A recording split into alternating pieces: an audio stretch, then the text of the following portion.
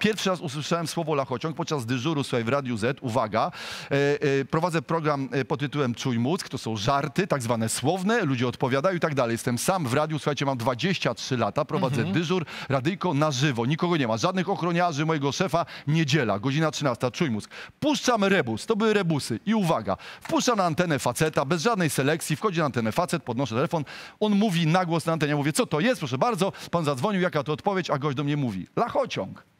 I teraz uważaj, pierwszy raz słyszę to słowo. I Jestem, jest dyżur na żywca i ja gadam. Proszę Państwa, nie wiem co to jest. Jak wygląda lachociąg? Zastanówmy się.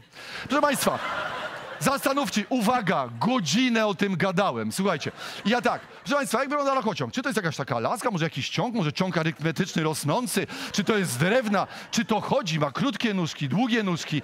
Jak to w ogóle wygląda? Proszę Państwa, jak wygląda lachociąg? Zastanów się, gadam o tym, słuchaj, na antenie, godzina, słuchaj, nie ma żadnych telefonów komórkowych, zamierzchłe czasy, pamiętamy i tak dalej. I nagle, słuchaj, widzę przez Nowy Świat pędzi mój kumpel na rowerze, zdyszany z Ursynowa jechał, bo usłyszał, co ja plotę. Wpada i mówi tak, Szymon, kurwa, co ty gadasz? Zdejmą nas, zamknął radio, Krajowa Rada Radiofonii zamknęła, nie ma nas, rozumiesz? I wtedy się dowiedziałem, co to jest Ale lachociąg. Więc on ci- Ja się wszyscy bardzo późno... Ale on ci powiedział czy pokazał? nie, znaczy,